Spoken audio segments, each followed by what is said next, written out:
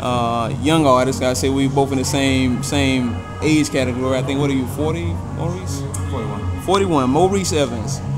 Brother, let's keep it real, man. Talk to me. What you know? We was, had a conversation earlier about, um, you know, artists not getting they due. A number of the shows, uh, they promote the the entertainers. They promote, you know, the book people coming in and sign books. But what do we got to do for them to really take the visual artists more seriously and and man, show show show a little more love in terms of marketing us as a part of the package when they put the shows together. I mean, what can we do?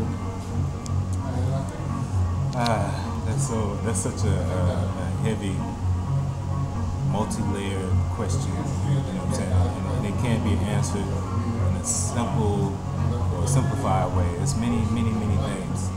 Uh, we're not like uh, musical artists where they have videos, um, they get interviews, they get magazine spreads, and because they become popular, then all of a sudden they're you know, other facets of arts and entertainment, so they're in movies and become spokespeople for different products and so forth and so on. So until artists get to that celebrity status, uh, you know, then it would be much more respected. You know what I'm saying? I think I think people respect it, but they value it, but it's almost like uh, it's like uh, do you remember when the Arsenio Hall show went off the air? Man, Okay. I remember when black folks complained and complained and complained about Arsenio. Right. Then he went off the air. Mm. Then it was like, wow, now there's no one out there, prime time, late night, representing us. No one else is doing it. You understand what I'm saying? So now all of a sudden your, you know, your black entertainers, you weren't seen at night.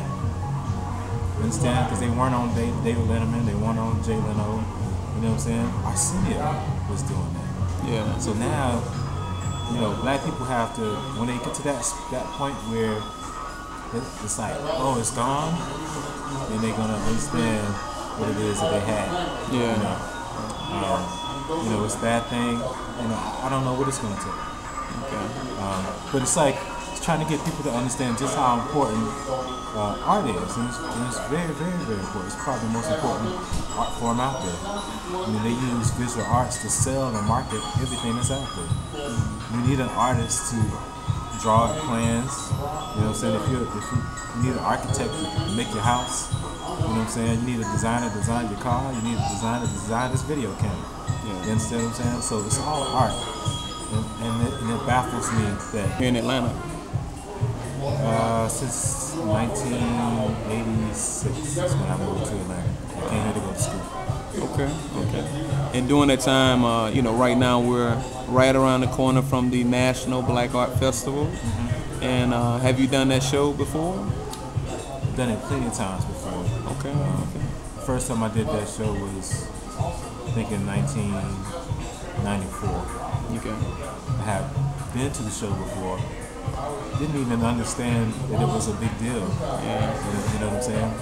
Until um, I'm gonna call her name Grace Kisa says, "Hey, why don't you submit your work to this, this you know, to this show? Maybe you can get it." Yeah. And I'm like, you know, you know, whatever. So I see some slides in. And all of a sudden, I'm in the show. Right? It's '94, and I didn't realize how big of a deal it was until other artists and other people were like, "Wow, you got in that show?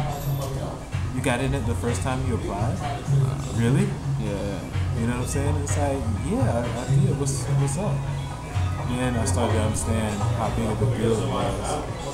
And um, now I respect the show. It was, during its heyday, I thought it was the best thing ever for artists because this is the one time that you get to see all your favorite artists or these great artists in one spot. You know what I'm mm. saying? For Like who did you see? Who did you see? Can you think of Oh, anybody man, in the first particular? time I saw Paul Goodnight, I was like, wow. I seen his work when I was young. I saw it on Fresh Prince. I saw it, you know, when I first moved to Atlanta. I would see it in different places, and I, you know, I loved this, this guy's art. I didn't know who he was. I didn't even know there was such thing as a, black art market. You understand what I'm saying? And, and then I met um, uh, Gilbert Young. You know, I seen that I mean, heavy image. You know what I'm saying? So I mean, your Charles Bibbs and all these guys. I mean, Frank Frazier's and you know, just the greats of, of our time. You know what I'm saying? They're, they're the new. You know, people speak of the Harlem Renaissance. They're the new Renaissance. You understand? So when I saw them, I was like, wow, I'm in the company of these people that I've admired. You know what I'm saying? And respected. So it was a big deal.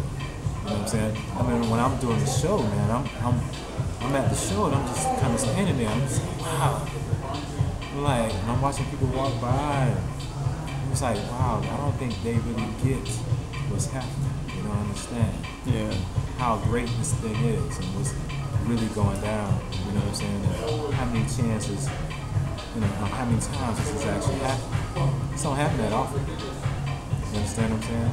And then you had, you know, actors coming here, poets, and I mean, big name folks. And it was a, a huge event for Atlanta for a long time. And people back in the day, it was it wasn't an every year event. It was you know every two years. Mm-hmm. So a lot of times people would come to Atlanta for the show from all over the country, and these people would actually save their money, understand, to come and budget out to come buy work at the Black Arts Festival.